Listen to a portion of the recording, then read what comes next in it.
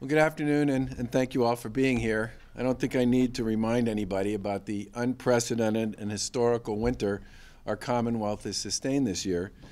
Over the course of 28 days between January 26th and February 22nd, vast parts of Massachusetts experienced record or near record snowfall and bitterly cold temperatures that prevented melting. There's about a 132 day period in there between the end of January and the end of February where it snowed for 25 days. The temperature rose above 32 degrees only for a couple of days, and the average temperature over that period was actually below freezing. I'm not even sure if the sun ever came out during that period either. Um, but it just speaks to the significance of both the strength and duration of the storm and the storms that we dealt with as a community over that period of time.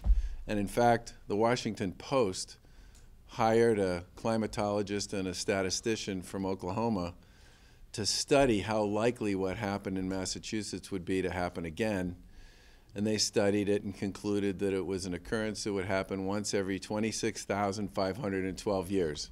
So the really good news is Karyn and I are pretty sure we're not going to be here when it happens again. Um, this weather pattern, as many know, crippled our transit system and created all sorts of issues for our healthcare systems and overwhelmed emergency and cleanup response efforts. The costs have been incurred for snow, uh, snow removal and disposal, and related damages have piled up in a way no, uh, not compared to any other Massachusetts recent weather-related disaster, including the 2008 ice storms, sustained flooding in 2010 over the course of several weeks, and the record-setting snowfalls in 2011 and 2013. Each of those weather-related disasters were awarded a federal disaster declaration, and today we are requesting that the President offer the same consideration with regard to this historic 28-day winter weather pattern.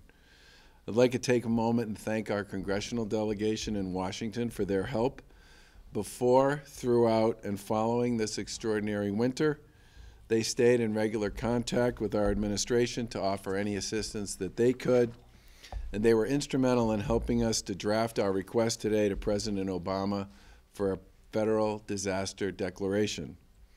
In the weeks following the storm, MEMA has been in close contact with our municipalities, compiling and analyzing the data we need to make uh, what we know is a strong case for federal assistance. Through their efforts, we've determined that 10 counties have met the threshold for federal disaster declaration under FEMA's Public Assistance Program. Barnstable, Bristol, Dukes, Essex, Middlesex, Nantucket, Norfolk, Plymouth, Suffolk, and Worcester. Additionally, we are requesting snow assistance for nine counties who, who have either met record or near record snowfall totals. Barnstable, Bristol, Dukes, Essex, Middlesex, Norfolk, Plymouth, Suffolk, and Worcester. The cost for response, cleanup, and recovery efforts has been estimated at nearly $400 million, 350 million in snow removal, and 50 million in related damages to public infrastructure. I'd remind you again that those costs come far short of anything we sustained during the federal disaster declarations that were issued in 2008, 2010, 2011, and 2013. We also understand the unique nature of our request to FEMA to declare a prolonged period of snow as a federal disaster. But taking into account the unrelenting snowfall over those 28 days and the freezing temperatures during that time that did not allow for any meaningful melt, we're confident our request meets the thresholds and circumstances to be declared as such. Should our request be granted, approximately 250 cities and towns, state agencies, and private nonprofit organizations would be eligible for a 75% federal reimbursement for qualifying costs, which would include snow removal and repairs to public infrastructure such as roads, bridges, piers, and seawalls that were damaged during this time. We are urging the President and FEMA to honor this request. I'd like to reiterate my appreciation for the support of our congressional delegation in our efforts and for the cooperation of our mayors, city managers, selectmen and women, and council members in our cities and towns as we worked our way through the storm response and in compiling the information needed to make a very compelling case.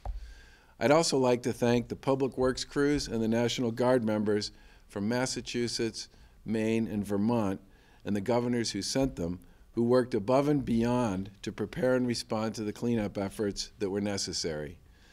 And I'd also like to thank the emergency personnel and first responders who, despite conditions more challenging than normal, worked to prevent even more significant losses during this time.